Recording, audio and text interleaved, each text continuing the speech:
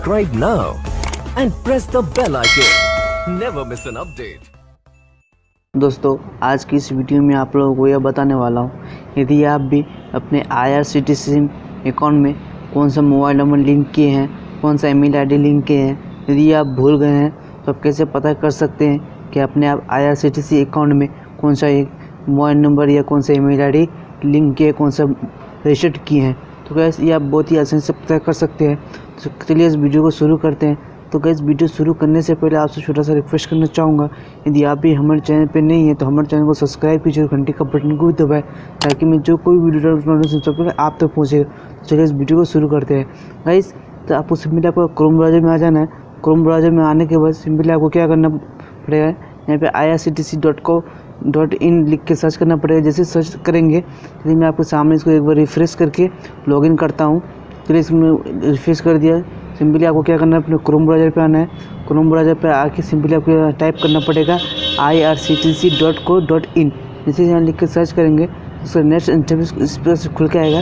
तो वही तो टर्म्स को ओके करेंगे ओके करने के बाद सिंपली आपके यहाँ फोर डॉट पे क्लिक करना पड़ेगा। जहाँ आई लिखा हुआ है।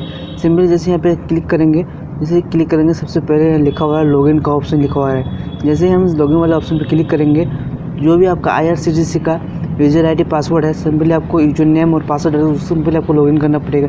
चलिए मैं अपना यूज़र नेम और पासवर्ड डाल सिंपली लॉगिन कर लेता हूँ। जैसे मैं अपना यूज़र आईडी डाल के सिंपली अपना पासवर्ड डाल के लॉगिन करूँगा, चलिए मैं आपके सामने लॉगिन कर लेता हूँ।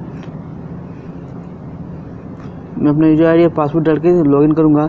तो कैसे हमें कैप्चर फिल करना पड़ता है। सिंपली हमें चाहे तो इसको सुन के भी कैप्चर फिल कर सकते हैं। चाहे आप यहाँ देख देख सकते हैं, लिखा हुआ आया है। ऐसे में सुन के कैप्चर फिल नहीं कर सकता क्योंकि मैं जब भी ऑडियो रिकॉर्ड कर रहा हूँ और माइक लगा हुआ है, इसकी वजह से ऑडियो बाहर नहीं आएगा। जैसे मुझे कैप्चर फिल करना पड़ेगा चलिए मैं कैप्चर आपके सामने फिल कर लेता हूँ। ये कैप्चर जैसा जैसे लिखा हुआ रहेगा, वैसे आपको वैसे ऐसे कैप्चर फिल करना पड़ेगा।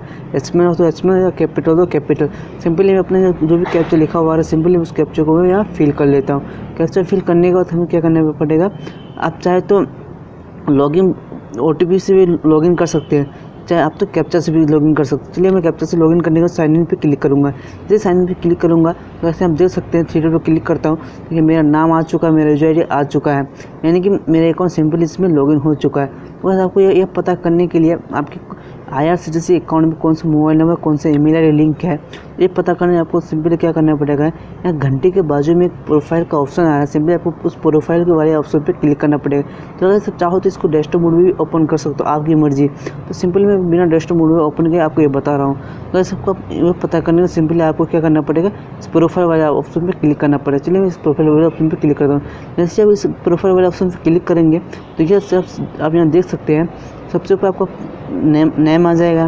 उसके बाद आपका ईमेल मेल मतलब कि आपको डेट ऑफ़ बर्थ आ जाएगा, आपको मोबाइल नंबर आ जाएगा। उसके बाद आपका ईमेल आई जो भी लिंक किया हुआ हुआ है। अगर यदि आप, अपने आप I R C T C account से यदि आप, आपका आधार कार्ड लिंक करते हैं तो आपका आधार कार्ड पर जो भी डिटेल्स है, वो आधार कार्ड का डिटेल्स यहाँ पे शो हो जाएगा। आप इस, इसी तरह से किसी भी यूज़र आईडी का I R C T C I D का, आप आसानी से कौन सा मोबाइल लिंक है, कौन सा मेरा लिंक है, आप ये पता कर सकते हैं। आई होप कि कैसे वीडियो आपको पसंद आया होगा।